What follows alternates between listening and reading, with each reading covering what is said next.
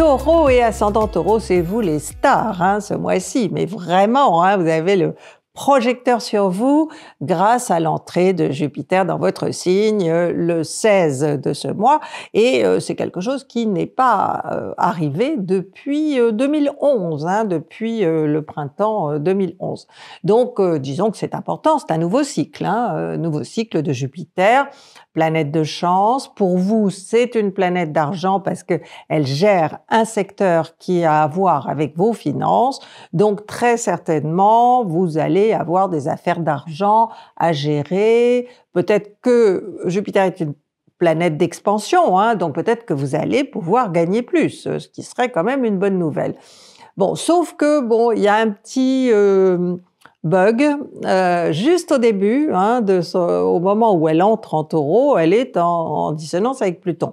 Alors je pense que ça va jouer plus sur le plan universel, qu'il peut se passer quelque chose euh, euh, quand même d'assez fort de café. Mais en ce qui vous concerne, vous, sur le plan personnel, disons que ce sera un, passage un petit peu obligé par, comment dire, une vision un petit peu négative hein, de la situation. Mais bon, je vous le dis, ça ne durera pas.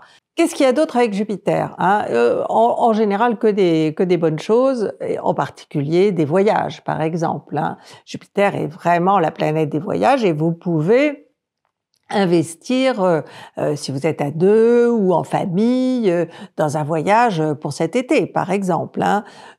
c'est de toute façon, bon, on va pas parler du côté négatif parce que c'est jamais très négatif, c'est juste des tracasseries euh, administratives, parfois, mais pas toujours. Hein.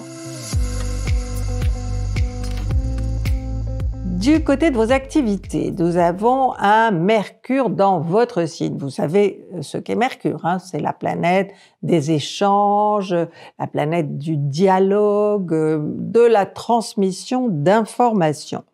Nous sommes, euh, bon, chez vous, euh, en taureau, donc il y a une notion peut-être qu'il faut dialoguer davantage, que si vous voulez vous faire comprendre, il faut peut-être être plus clair.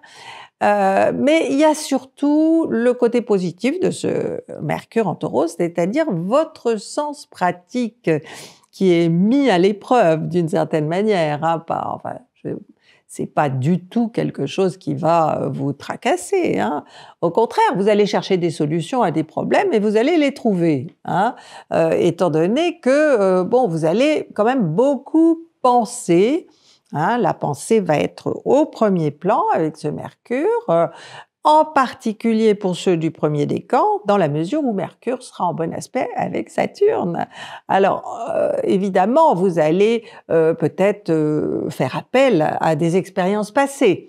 Hein, qui vous auront marqué et vous vous direz bon bah la situation actuelle elle ressemble un petit peu à ce que j'ai vécu à certains moments dans mon passé et donc peut-être qu'il faut que j'emploie les mêmes méthodes ou alors que je change radicalement de méthode. Hein. Ça, ça dépendra vraiment de ce que de la situation de, que vous vivrez. Hein.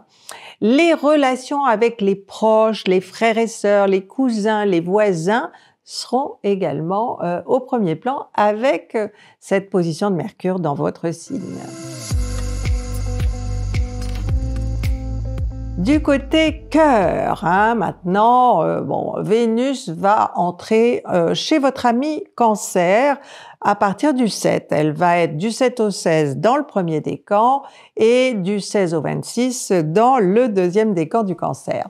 Euh, c'est une très bonne position hein, pour vous, hein, le taureau, parce que cette Vénus en cancer, elle a un petit côté Vénus taureau, c'est-à-dire qu'elle est extrêmement sensuelle, tactile, elle est, euh, comment dire, euh, elle est gourmande, elle aime les bonnes choses. Euh, il y a tout un côté, je veux dire, appétit de, la vie.